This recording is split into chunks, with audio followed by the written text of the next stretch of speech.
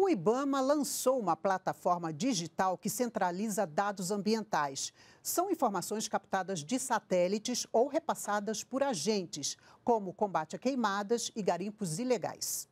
Imagens de satélites de áreas de garimpo e desmatamento na Amazônia Legal, focos de incêndios, informações sobre fauna, rios e costa marítima, detalhes sobre cada bioma do Brasil pesquisados e recebidos pelo IBAMA, estão agora reunidos em um só local, a plataforma de análise e monitoramento geoespacial da informação ambiental, Pangia organiza os dados, centraliza os dados e facilita, obviamente, o acesso à informação ambiental por parte do nosso público externo, a sociedade civil, e por parte do nosso público interno, nossos servidores.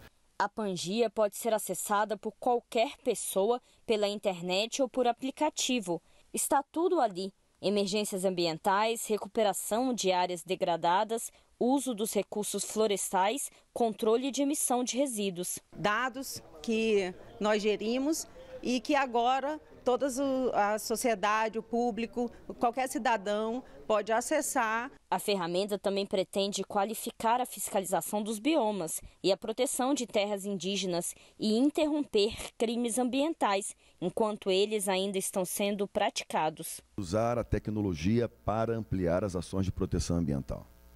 E realmente, a tecnologia ela dá maior efetividade, dá maior precisão, dá maior eficiência a todas as ações de proteção ambiental. É segurança para aquele agente que está no campo.